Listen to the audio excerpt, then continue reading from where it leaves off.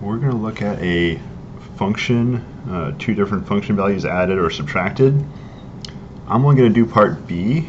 Part A is going to be similar, except you would add these two values. So part B is a little bit more tricky because you got an extra minus sign, so we'll do that part.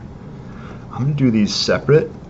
I'm going to find f of 3 first, uh, f of negative 3 first, and then f of positive 3, and then we'll just take these two values and subtract them. Alright, so here is the function f. We're going to take negative 3 and we're going to f it. So what happens, We're at what I just circled, those all become negative 3's.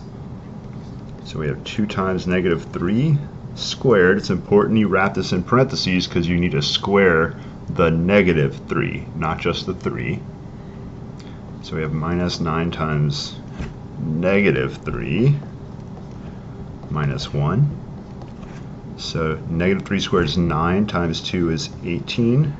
So negative 9 times negative 3, those turn to positive 27 minus 1. 18 plus 27 is a lot. Um, oh boy, numbers 37, 47, 45, 44 maybe, hopefully uh, f of positive 3. So this is going to be really similar. I'm just putting positive 3 in for the x's.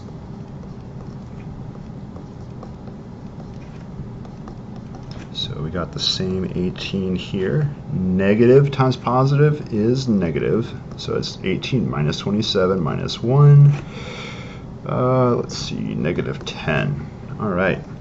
So what we're actually asked to do f of negative 3 minus f of regular 3. And we have f of negative 3 is 44 minus f of regular 3 is minus 10, and we should use another parentheses. So we got 44 minus negative 10, which is the same as 44 plus 10, also known as 54. All right, so that is how to plug in those values and subtract. And to do the first part, you would just add those two numbers together instead of subtract them.